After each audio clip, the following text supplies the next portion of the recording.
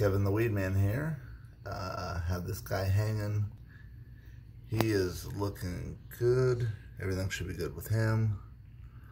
Um, this guy, I'm not sure. He's probably just molting or I don't know. And then I have, uh, let me get a better angle. Sorry, guys. Okay, so I have this guy that's hanging, doing good. And then I have one chrysalis. So things are looking looking better. I have, unfortunately, I have this guy here. I see two strings hanging out of him. So I need to hunt down two, two maggots or whatever. So sad. But uh, I'll be gathering those uh, when the eggs hatch.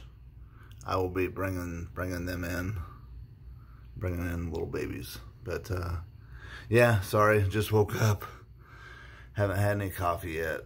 But uh, yeah, doing good, doing good. Uh, y'all have a great day.